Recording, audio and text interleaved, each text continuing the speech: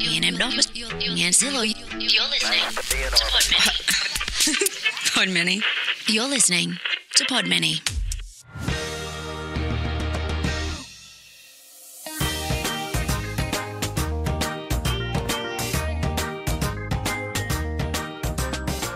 Hey, everybody, welcome back to another episode of the Not Your Mother's Goose podcast, a laugh filled trip down memory lane where we get to make jokes at the expense of everyone from John Jacob Jingleheimer Schmidt to Baloo. I'm Topher Goggin. Coming up today, bring your rocks and breadcrumbs as we take a look back at the story of Hansel and Gretel, find out how Georgie Porgie's season of The Bachelor is going, and learn what the cow that jumped over the moon is up to these days.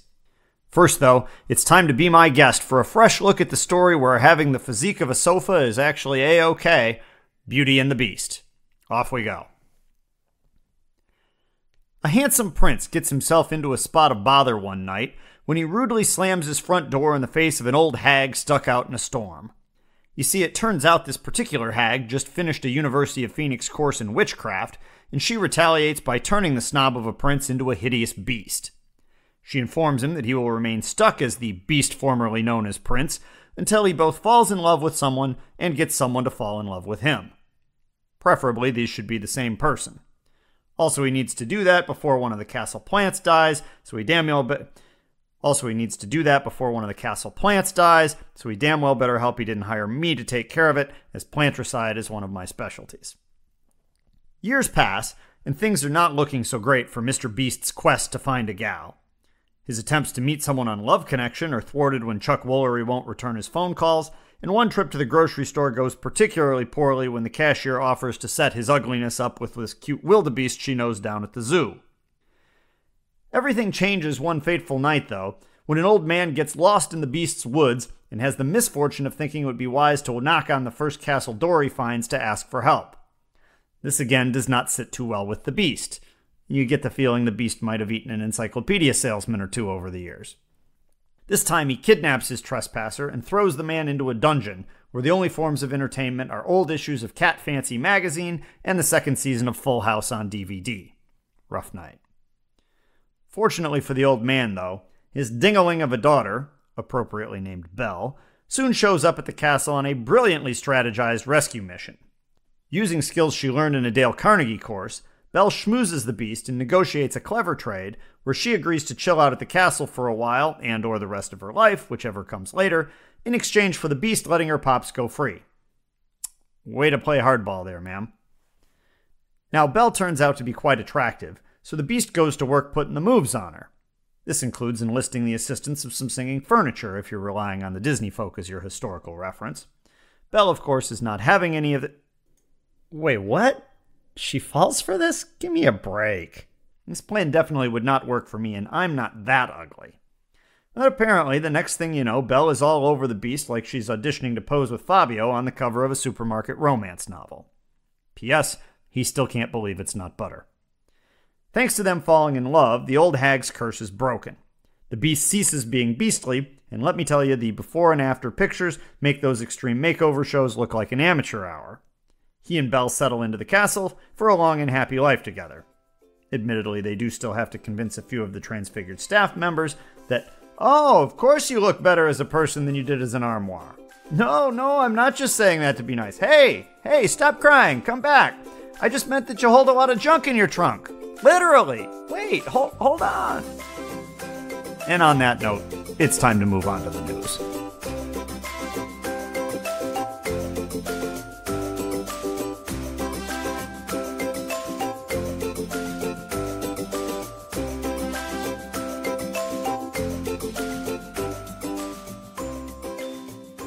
I realize not everybody's got time to read the paper every day. You might need to get your news here.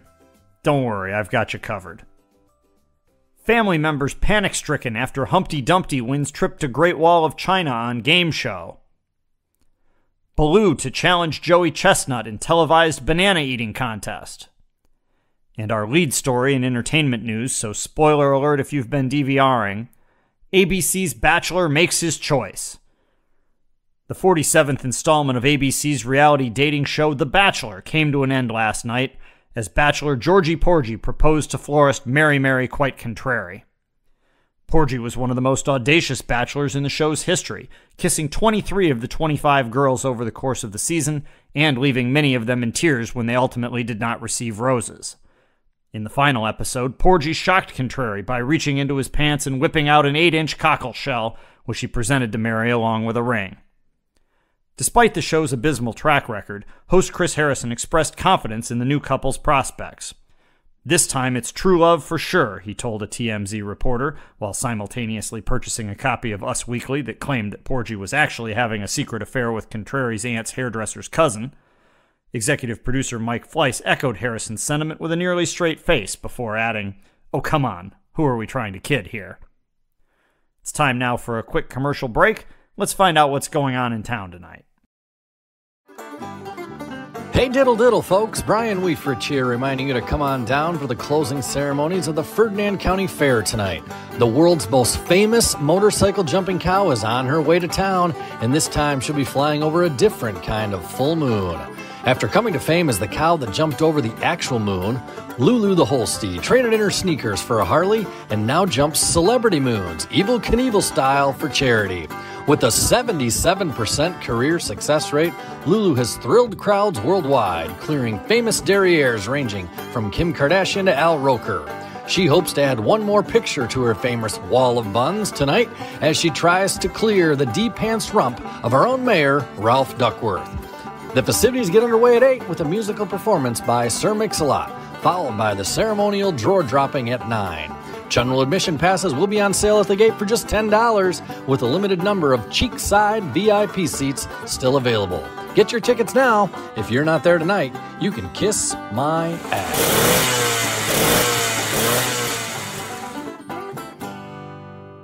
Thanks again to Brian Weefrich for his help on that one. I hope you get some of those fine cheek-side seats, Weef. Now let's get back to the news with some more headlines. Bo Peep outfits sheep with new tracking chips. Aging Rapunzel, suffering from hearing loss, tosses down her chair from tower. And in everyone's favorite, math news, Beyond Infinity, sparks fly at math convention as Buzz Lightyear debates experts. Fireworks erupted at the annual convention of the Mathematics Association of America as invited guest Buzz Lightyear of Star Command eviscerated a panel of PhDs in the group's annual keynote debate. The gathered calculator fans and multiplication buffs were on the edge of their seats watching with rapt attention as Lightyear swatted away experts' criticisms that it is impossible to go beyond infinity.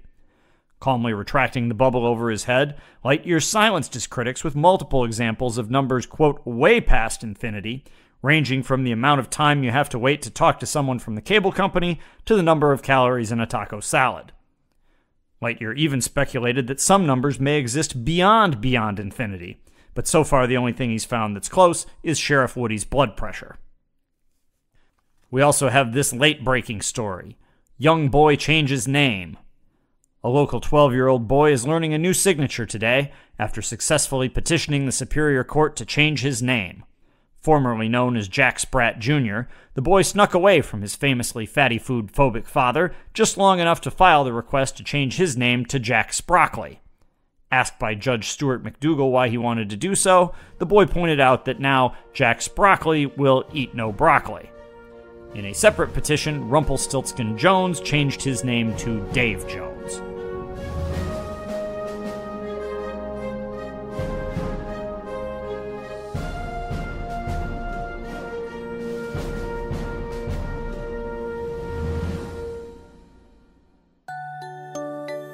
Hi, I'm definitely a real princess, so it's safe to uh, say I can't sleep on this mattress. Ow! What is that? So I'll be up all night listening to Not Your Mother's Goose. The Lion King. Up next, we'll take a visit to the Pride Lands, where a brand new lion cub named Simba has just been born. He's the son of King Mufasa, a big ass lion who sounds a lot like Darth Vader, just without the sleep apnea machine. As we arrive, young Simba is being presented to the other subjugated animals by the local mystic slash medicine baboon, Rafiki. Okay, actually, he's a mandrill, let's get that straight. But anyway, this process involves Rafiki hoisting the cub up in the air off the edge of a cliff in a ceremony that is basically a cross between Michael Jackson showing off blanket from the balcony and a 14 year old desperately waving her phone around hoping to get better cell service when Snapchat goes down.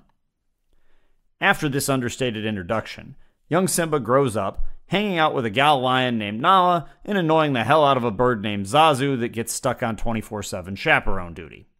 Meanwhile, though, trouble is brewing in the form of Simba's uncle Scar. By the way, nice name work there, parents. You've got a kid named Mufasa, and then you're just out of ideas, so you go with Scar? Come on. Good old Scar isn't too thrilled about being bumped down the monarchy pecking order, so he recruits his idiot hyena friends to help bump off everyone ahead of him on the list. They collectively lead Simba out into a gorge, then set off a wildebeest stampede by announcing a Black Friday sale at Yaks R Us. Mufasa shows up just in time to save Simba from the melee, but doesn't fare so well himself, especially once Scar comes to the fake rescue and finishes him off. Sorry for making you relive that childhood trauma. It turns out that Simba's bad day is actually only going to get worse. Not only does he discover that his father has died, but Uncle Scar promptly stops by to mention that this is actually all Simba's fault. Scar convinces Simba that the best way to deal with this would be to move away. Permanently. Scar moseys back to Pride Rock, announcing that both Simba and Mufasa have croaked and that he will be graciously saving the day by taking over as king. Simba, meanwhile, briefly gets lost and wanders onto the set of the Jungle Book, but then settles in with a wisecracking meerkat and a flatulent warthog instead. These two, Timon and Pumbaa, teach Simba their singable worry free motto and life philosophy that we all have come to grow and love clap on, clap off. Anyway. As Simba grows up, complete with a terrible new haircut, the whole Pride Lands under new management thing isn't working out so well. Turns out that the Scar economy is not great in certain industries, such as the catching food industry. One day, a now grown Nala goes out to hunt and manages to catch only a Simba. Reunion time. And after they finish feeling the love tonight with Elton John, Nala suggests that Simba come back to take out Scar. Simba mulls it over and says, I think not. Never fear, though, as Simba gets over this brief bout of sanity very quickly. All it takes is one talking cloud formation that either looks a little like Mufasa or maybe a 1987 Buick LeSabre, and Simba heads back to shut down the Scar Show. One good cliff battle and a grass fire later, Pride Rock is saved. Simba takes over as king, he and Nala flip on the Elton John, and a while later, Rafiki's back dangling the next kid off the edge of the cliff. I just hope that kid doesn't do his own stunts.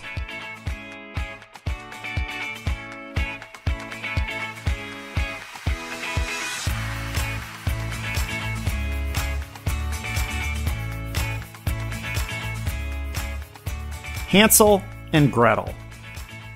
You know, folks say that smartphones and GPS have destroyed everyone's sense of direction these days. Nobody under the age of 30 knows the real way to get from here to there. Of course, the way to do that is that you print out a page of MapQuest directions, you set them on your passenger seat, you're not able to look at them anyway because you're driving, and eventually you end up so lost that you can't even figure out how to get back to any of the roads that are on your printout.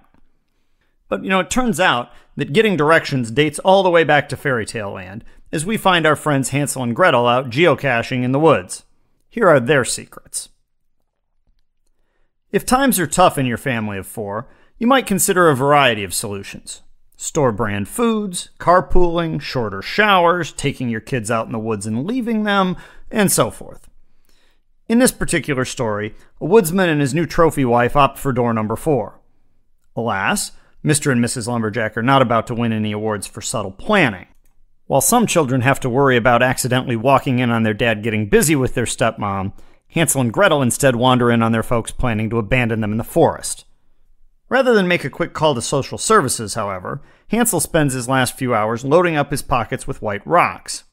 When the parents then lead the kids off into the woods, Hansel calmly dribbles a, completely unnoticed, rock trail behind them, which he and his sister later follow straight back to their house under the moonlight. In a shocker, they don't get a terribly warm welcome upon their return. Before long, the woodsman's wife is again planning to fix her problems by abandoning the kiddos out in the middle of nowhere. Unable to get to his rocks, this time Hansel is forced to lay down a trail of breadcrumbs while he and Gretel are being led off into oblivion. This admittedly is not a horrible idea. It's definitely better than dropping, say, a trail of ice cubes. In the end, it doesn't work, though, as birds eat the crumbs and destroy the kids' map home. Now stranded for real, Hansel and Gretel wander around for a few days until they stumble onto one of your more common sights deep in the forest a house made entirely out of candy. So logically, they start eating it. For the second time in this episode, that leads to a homeowner that is less than pleased. But this time, instead of a prince turned beast, it's a terrifying old witch. She's nearly blind, but she takes the tack of promising the kids real food, which probably means drywall, and soft beds to lure them inside because her real plan is to pork them up and eat them. Because there's nothing like a delicious German child when you live in a house made entirely of candy. The witch forces Gretel to be her slave and locks Hansel in a cage for feeding. Despite some tricks by Hansel to convince her that he's still skinny, the witch eventually loses her patience and orders Gretel to fire up the oven. Then, as Gretel preheats to 400 degrees, the witch decides she'd also like some Gretel gruel for an appetizer. She slyly tells Gretel to lean into the oven to see if it's hot enough. Gretel's no idiot, though. She responds with the famous, Oh, I don't understand what you mean. How about you get into the oven and show me how trick? Which somehow totally works. Gretel slams the oven door shut, crisis averted. Though I do hope that oven is self cleaning.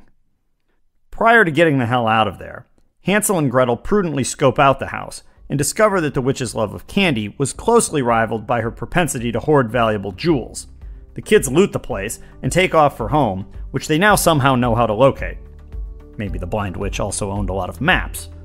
When they get there, they learn that their bitchy stepmother is conveniently croaked. And once they ship the witch's jewelry off to cash for gold, the kids and the woodsmen are pretty much set for life.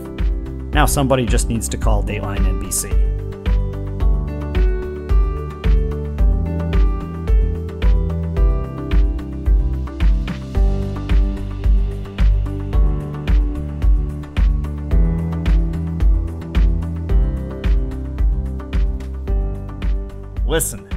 We all have that friend that loves Disney just a little too much. You know who this person is. They're the ones who make a chain to count down the number of days to their next trip to the Magic Kingdom, which they refer to as going home. They're the ones that correct you if you say Thunder Mountain instead of Big Thunder Mountain. Now, in my personal group of friends and so forth, that annoying Disney person is, well, it's me. Uh, so trust me, I know what I'm talking about here. But how do you deal with someone like this? Well, I thought I would help you out. I initially tried to write a supercalifragilisticexpialidocious parody, something like Finding Nemo, Little Mermaid, Snow White, Cinderella. If you don't like Disney movies, you can go to hell. But beyond that, I, I couldn't get it to work. But I have come up with a backup plan. When your Disney loving friend starts annoying you with factoids, what you want to do is come back with some trivia of your own. Your facts won't actually be true, but that's just a minor detail. Hit your friend with a few of these and you will shut them up for good. Uh, as a side note, I actually wrote these initially as a whole series of fake Disney facts for a chain, for a Disney trip, and that's where these come from. It turns out that some other people actually run a fake Disney facts Instagram account uh, they take a little different angle on this than I did, but it's some funny stuff, so feel free to check that out. But anyway, here are some Disney facts that you might want to throw at your magic loving friends. For instance, did you know that in 1979, Disney scrapped plans for a new men's only theme park known as Disneyland? Its signature attraction was the Monorail. Or, you may not be aware that if your Space Mountain rocket finishes the track in under two minutes, all riders on board receive a coupon for 50 cents off a Mickey pretzel. Movie trivia.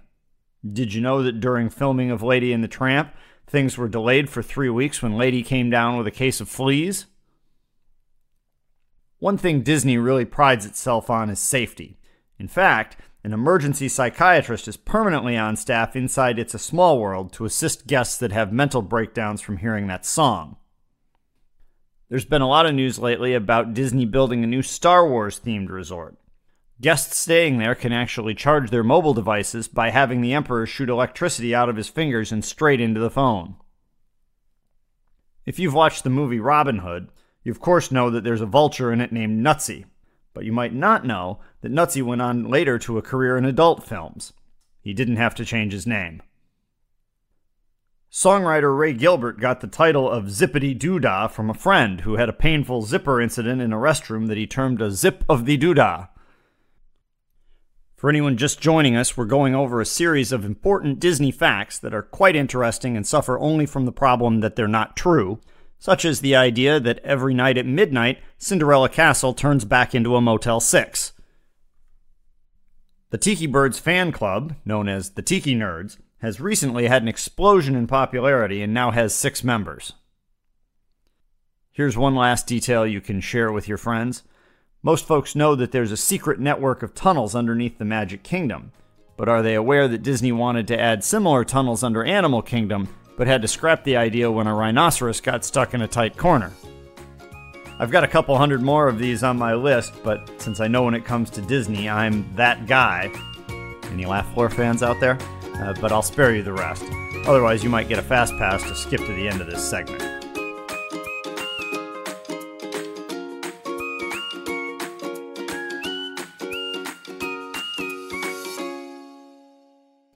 All right, that's going to bring this episode of Not Your Mother's Goose to a close. There's more to come, though, so be sure to catch us next time. We'll dust off our magic lamps with Aladdin, review The Fox and the Hound, and fire up some more music on Rapunzel's jukebox. Thanks again to Brian Weefrich and my mom for help with this one, and thanks to you for taking the time to listen and make this show possible.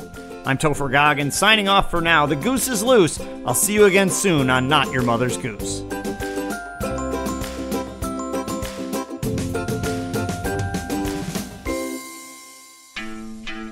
You've been listening to a Podmany original production. Bien el nombre. Yes, hello. Thank you. Podmany. Thank you.